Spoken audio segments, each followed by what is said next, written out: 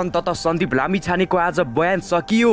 सन्दीप लामिछानेले अदालतमा पुगेर कस्तो बयान दिए त यसमा सम्पूर्ण जानकारी। सन्दीप लामिछानेको बोइङ खातामा पैँसठी हजार रहेको खुल्लासा आज पनि सन्दीप लामिछानेले बयानमा म निर्दोष छु। बलात्कार गरेको होइन भन्दै यस्तो प्रतिक्रिया दिए र युवतीको उमेर अठारभन्दा माथि रहेको पनि खुल्लास्त पारे। प्रहरीले सन्दीप र युवतीको बयानप्रति कस्तो किसिमको प्रमाण भेटायो त? अहिले सन्दीप लामिछानेले के गरिरहेका छन्? अहिले कहाँ छन् त? यसमा सम्पूर्ण जानकारी। सन्दीप लामिछानेको जग्गा र बैङ्क खाता रोकुवा गर्न माग। आखिर सत्य को हो? असत्य को हो? दुवैजनाले बयान फेरिरहेका छन्। आखिर कसको बयान ठिक हो त? यसमा सम्पूर्ण जानकारी अब हेर्नुहोस् पुरा समाचार।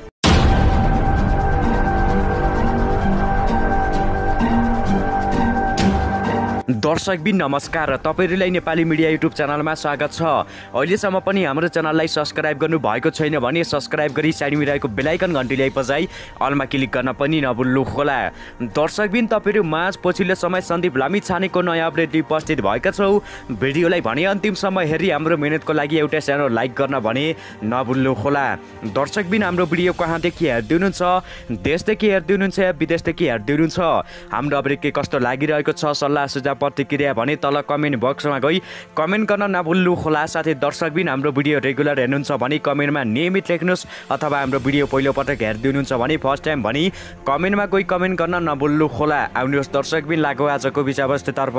दर्शकबिन भिडियो सुरु गर्नुभन्दा अगाडि म एउटा कुरा भन्न चाहे। दर्शकबिन सन्दीप लामी छानेर युवती प्रकरण अहिले तातिरहेको छ। सामाजिक सञ्जालमा दर्शकबिन यति बेला सन्दीपले र युवतीले बयान दिँदै आइरहेका छन् साथै अहिले एकाएक दुवैजनाले बयानमा फरक फरक भनिरहेका छन् दर्शकबिन। यति भन्न चाहन्छु कि दर्शकबिन प्रहरी र अदालतले सत्य तथ्य बुझी मात्र दोषी ठहर गरोस् भन्न चाहन्छु दर्शकबिन। नबुझी त्यसै दोषी ठहर नगराओस् भन्न चाहन्छौ। दर्शकबिन आखिर कसको कुरा साँचो हो कसको कुरा झुटो हो प्रहरीले यति पत्ता लगाइदियोस् भन्न चाहन्छौ। दर्शकबिन अब भिडियो पुरातर्फ लागौ। दर्शकबिन सत्र वर्षीय किशोरीलाई बलात्कार गरेको आरोपमा प्रहरी हिरासतमा रहेका क्रिकेटर सन्दीप लामिछानेले काठमाडौँ जिल्ला अदालतमा आफ्नो बयान दिने कार्यलाई मङ्गलबार पनि जारी राखेको छ। सोमबारदेखि उनले अदालतमा बयान दिन थालेका हुन्। न्यायाधीश माधव प्रसाद घिमिरेको इजलासमा आज बिहान साढे एघार बजेदेखि बयान दिन थालिएको हो। नाबालिकालाई पिङ्गला स्थितको एउटा होटेलमा पुर्याएर जबरजस्ती करडी गरेको आरोपमा लामिछाने गत असोज बिस गते पक्रो परेका थिए। दर्शकबिन गत भदौ बाइस गतेका दिन पीडित किशोरीले प्रहरी वीरत कौशलमा भदौ छ गते बिहान पिङ्गला स्थित होटेल काठमाडौँ यिनमा जबरजस्ती करडी गरेको भन्दै जाहेरी दिएकी थिइन्। जाहेरी दिए लगत्तै जाहेरी पर्ने समयमा नेपाल बाहिर रहेका लामिछानेलाई नेपाल फर्किए लगत्तै त्रिभुवन विमानस्थलबाट पक्राउ गरेको थियो। प्रहरीले अनुसन्धान सम्पन्न गरेपछि हिजो सोमबार लामिछाने विरुद्ध नाबालिका बलात्कारको कसरमा काठमाडौँ जिल्ला अदालतमा दसदेखि बाह्र वर्षसम्मको कोही सजाय र मानसिक क्षतिपूर्तिको माग दाबी लिई मुद्दा दायर गरिए गरिएको थियो। यसैबीच लामिछानेसँगको बयान जारी रहेकाले आज थु थुनचेक बस नहुने भएको छ। थुनचेक बसमा पहिलो वादीका तर्फबाट सरकारी वकिल पक्ष र अन्य अधिवक्ता भएमा उनीहरूले बस गर्ने बताएका थिए। त्यसपछि प्रतिवादी लामिछानेका तर्फबाट कानुनी सहायता गरिरहेका अधिवक्ताहरूले सन्दीपको पक्षमा बस गर्ने बताएका छन्। आवश्यक देखिएमा पुनः सरकारी वकिल पक्षले बस गरे पनि सन्दीपलाई पूर्वपक्षमै राखेर मुद्दाको सुनवाई गर्नुपर्ने हो कि धरौटीमा राखेर मुद्दाको सुनवाई गर्ने भन्ने विषयमा आदेश हुने जानकारी दिएका छन्। दर्शकबिन आज पनि सन्दीप लामिछानेको बयान लिएका छन्। सन्दीपले के के भने त दर्शकबिन? दर्शकबिन क्रिकेटर सन्दीप लामिछाने विरुद्ध बाह्र वर्ष कोही सजाय माग गर्दै मुद्दा दर्ता गराएका थिए। सोमबार काठमाडौँ जिल्ला अदालतमा लामिछाने विरुद्ध सरकारी वकिलले मुद्दा दर्ता गरेका हुन्। प्रहरीले एक हप्ता अघि अनुसन्धान सकाएर अदालतमा प्रतिवेदन बुझाएको थियो। प्रतिवेदनमा मुलुकी फौजदारी अपराध सहित सोह्र वर्षदेखि अठार वर्ष उमेरसम्म किशोरीलाई बलात्कार गर्नेलाई दसदेखि बाह्र वर्षसम्म कोही सजाय हुने प्रावधान रहेका अनुसार वर्ष बाह्र वर्षसम्मको कोही सजाय मागदाबी हुनुपर्ने उल्लेख गरिएको छ। सन्दीपले भनी आफूमाथि लागेको आरोपको अस्वीकार गर्दै आइरहेका छन्। उनले आफू पीडित भनिएकी किशोरीले कर गरेपछि आफू उनको चित्त नदुखोस् भनेर नगरकोट जान सहमति भएको बयानमा दिएका छन्।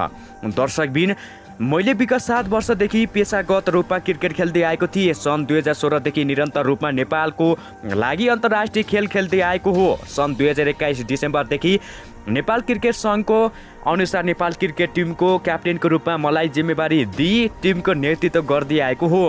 यस्तै निजी पीडित भनिएकी परिवर्तित नाममा गौशाला छब्बिस छ एक दुई हजार उनासी असी र हाम्रो क्रिकेट टिमका खेलाडी देव खनाल बिच एका एक एक आपसमा चिन्जान रहेको थियो। देव खनालले मसँग फोटो खिचेका थिए। सो फोटो निजेले पीडित भनिएकी परिवर्तन नाम गौशाला छब्बिस छ एक दुई हजार उनासी असीलाई स्मार्ट च्याटमा पठाएका रहेछन्। त्यसपछि निज पीडित भनिएकी परिवर्तन नाम गौशाला छब्बिस छ एक दुई हजार उनासी हँसीले मलाई स्मार्ट च्याट फ्रेन्ड पठाएकी थिइन्। मलाई मिति र समय याद भएन। पछि देव खनाल र परिवर्तित नाम गौशाला छब्बिस छ एक दुई हजार उनासी असी साथी रहेको कुरा पनि थाहा पाएपछि फ्रेन्ड रिक्वेस्ट एक्सेप्ट गरेको थिएँ। निजी पीडित भनिएकी परिवर्तित नाम गौशाला छब्बिस छ एक उनासी असीले मलाई समयमा स्म्याचच्याट मार्फत केही भिडियो र फोटो पठाउने गरेको र मैले त्यसको बदला सामान्य उत्तर दिने गरेको बताएका छन्। सोही क्रममा सामान्य कुराकानी हुँदै गर्दा निजीले मलाई विभिन्न कुराकानी गरी भेट्ने प्रस्ताव गरेको बताएका छन्।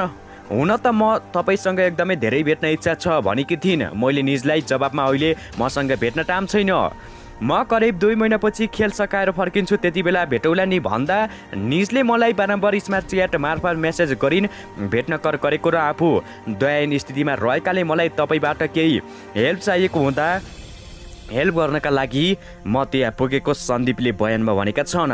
म्यासेज गर्दा होइन म भेटेर मात्र यो कुरा भन्न सक्छु भनेको हुँदा मैले निजलाई ठिकै छ। मलाई अहिले त फुर्सद छैन फुर्सद मिल्यो भने भेटौला नि भनेको थिएँ।